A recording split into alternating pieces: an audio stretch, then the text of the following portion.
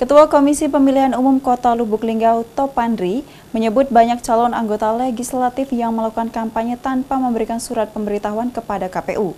Bahkan, parahnya dari 15 partai politik yang bertarung pada pemilu 2019, hanya ada satu parpol yang aktif memberikan surat pemberitahuan ketika berkampanye. Semakin mendekati masa pencoblosan pemilihan umum 2019, sejumlah calon anggota legislatif yang bertarung memperebutkan kursi wakil rakyat kian gencar belusukan dan mensosialisasikan program-program unggulannya kepada masyarakat. Masa kampanye pada pemilihan legislatif dan pemilihan presiden dan wakil presiden 2019 sudah dimulai sejak 23 September 2018 hingga 13 April 2019 mendatang.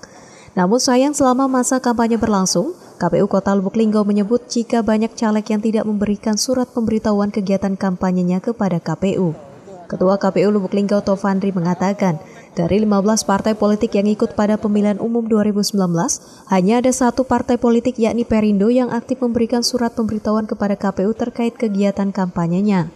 Pemberitahuan surat kampanye tersebut untuk menghindari sekaligus meminimalisir hal-hal yang tidak diinginkan akibat adanya gesekan antar pendukung.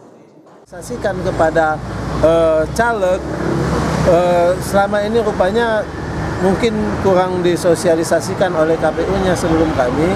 Seharusnya caleg itu kalau kampanye harus memberikan surat pemberitahuan kepada KPU. Hmm. Ini uh, yang baru memberikan surat pemberitahuan uh, kampanye hanya partai Perindo. Direncanakan akhir Februari ini, KPU Kota Lubuk Linggau akan menggelar rapat koordinasi dengan calon anggota legislatif untuk mensosialisasikan mengenai teknik pencoblosan dan pentingnya memberikan surat pemberitahuan kampanye.